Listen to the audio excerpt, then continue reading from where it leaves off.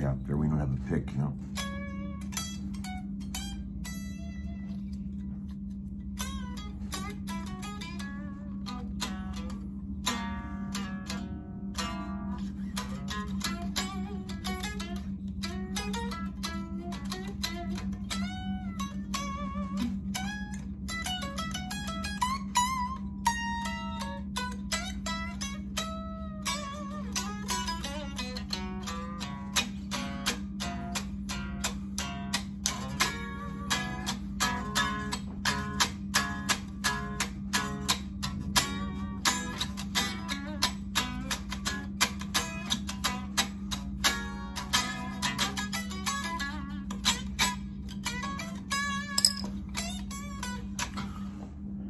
Hi guys, it's just me.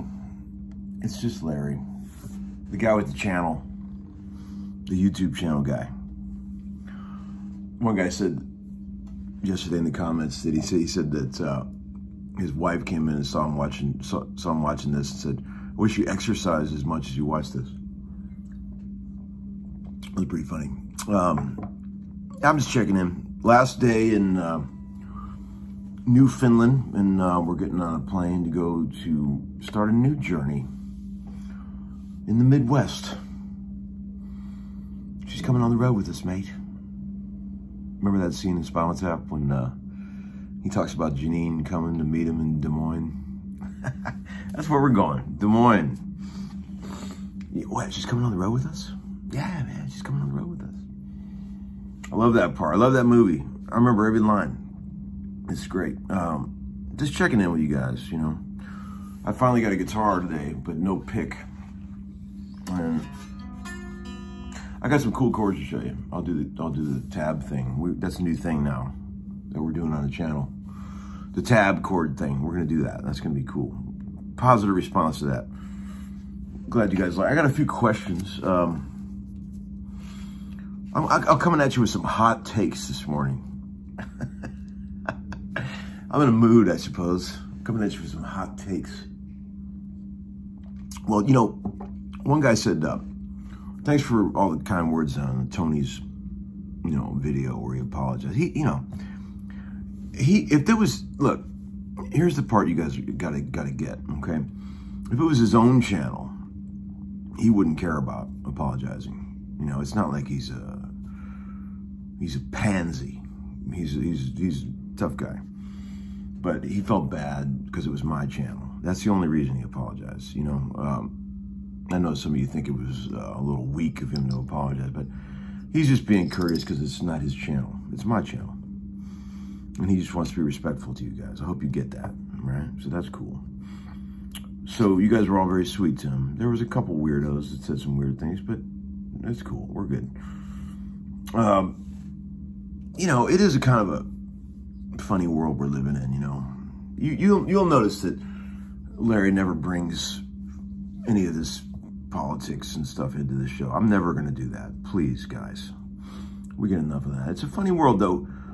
You know, people are very sensitive, you know. Um, I just feel like I miss the old days when we could make fun of stuff, you know, because I like people when people make fun of me. You know, I, I think it's I just, as long as we all share it, it's cool to make fun of stuff. You know, the only thing that's not cool is when somebody makes fun of someone and they don't want somebody making fun of them. As long as we're all eating from the same trough, it's all good, right? That's what I say. That's what I say. You know, same rules for everybody. I mean, that's kind of where I'm at. All right, here's a couple questions.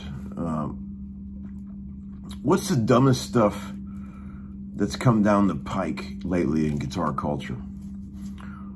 Well, uh, you know, uh, there's a lot of things, man. Um, oh, you know what really bugs me? I think it's the stupidest thing ever is whoever came up with the thing Boomer Bends. God, I just want to strangle whoever said that.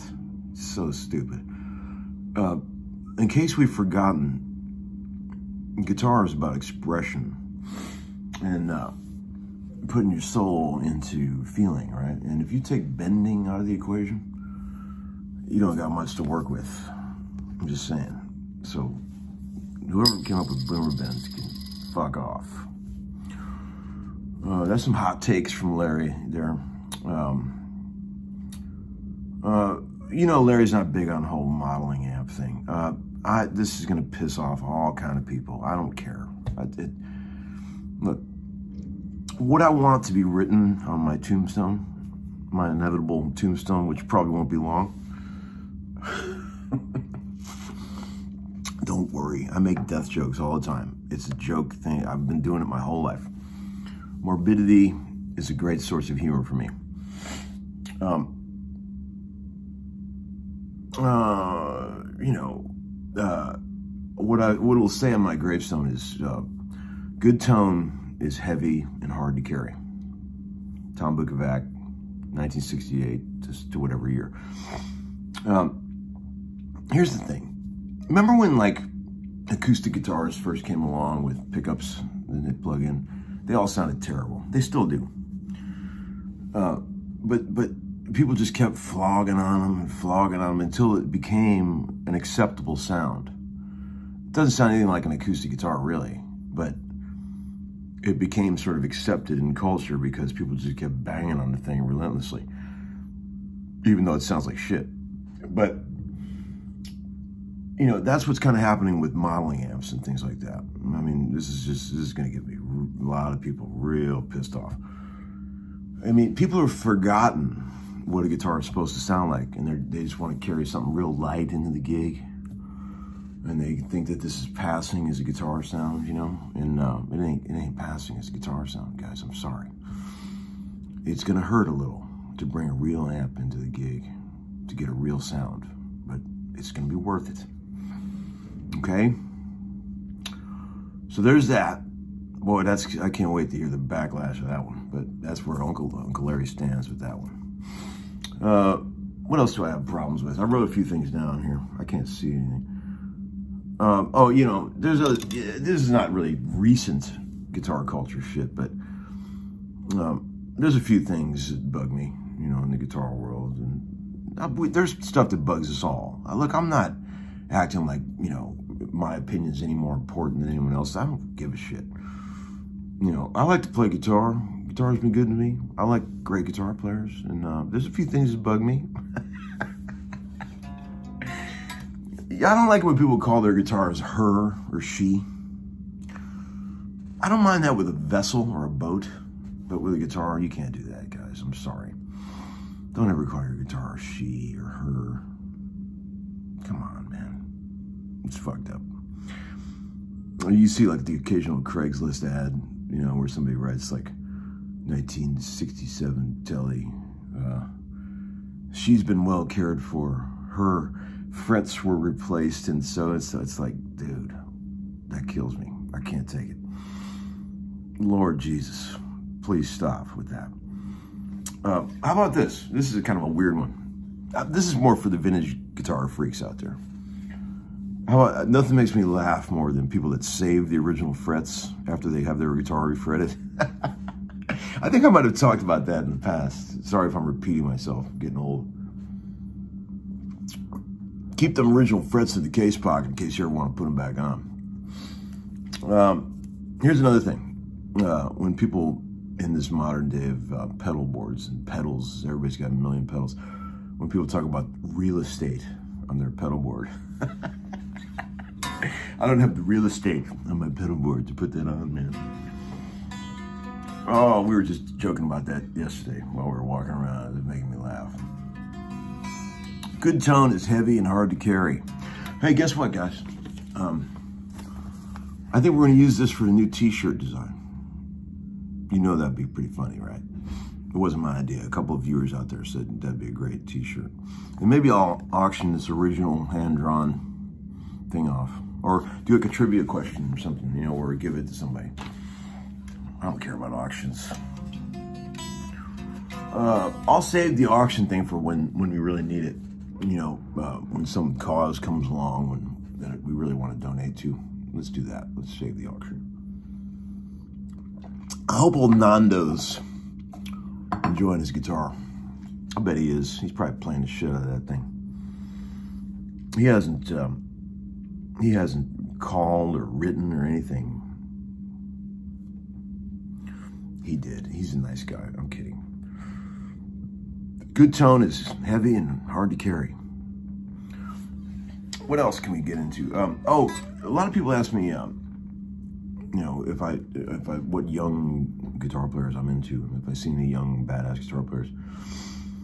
You know, Dan Auerbach texted me a thing last night of this guy playing. It blew my mind, man. Um, turns out the guy's a good friend of uh, Drew that owns the Guitar House in Tulsa, my dear friend.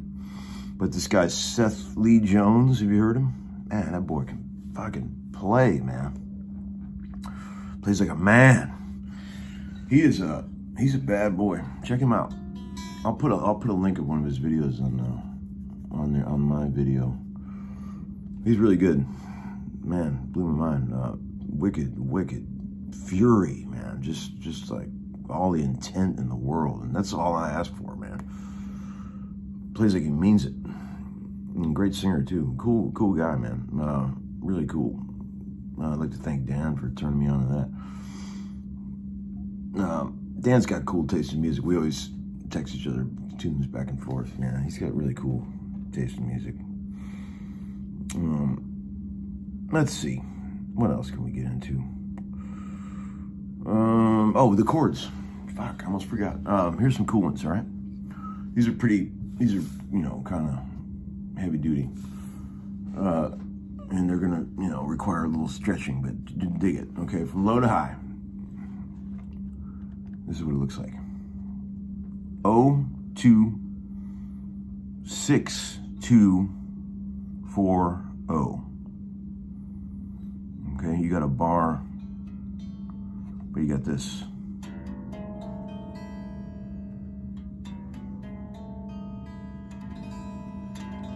Big old major seven. Sus. That's nice, right? Here's a really cool one. Check this out. Along the same lines. Uh, 5X 4640. 5X 4640. Big old uh, A13 flat 5.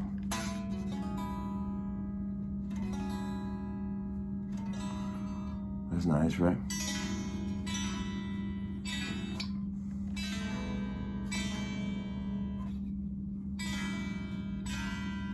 They kind of go together. It's nice. That's some piano shit right there. Okay, so here's here's a really good one. Dig this. This is the coolest way in the world to play a B minor nine. Yeah, everybody plays a B minor nine down here, right? Nice.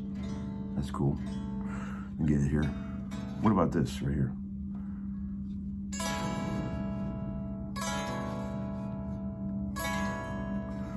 You got from low to high, you got 7, X, O, 6, 5, 9.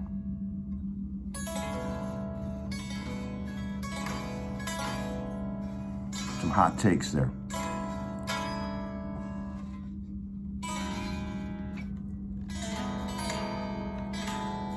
Nice, nice, you know, a couple nice chords for you. Hope you enjoy your day. I have no idea what day it is. It doesn't even matter when you're on the road. I just basically look at the thing. We got this thing called Master Tour, which is like an app you get on your phone, and it basically, you click on it, and it tells you what's going on that day. In the old days, there used to be like road sheets they would give you. Like the tour manager would put a little sheet under your hotel room door because there was rooming lists. We don't even do rooming lists anymore.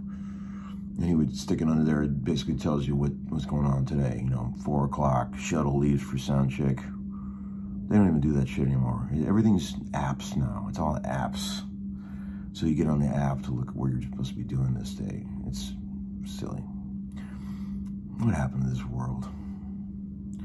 I miss rooming lists and, you know, road, roadie, road manager sheets. I miss all that stuff, man. I miss coming home from sessions at the end of a long day and, and going back to your answering machine and listening to all the messages that came in that day. People saying they want to book you for sessions and stuff. They couldn't text you. There was no texting. I miss it. All right, guys. Sorry, I'm getting real nostalgic. I'll talk to you soon. Bye.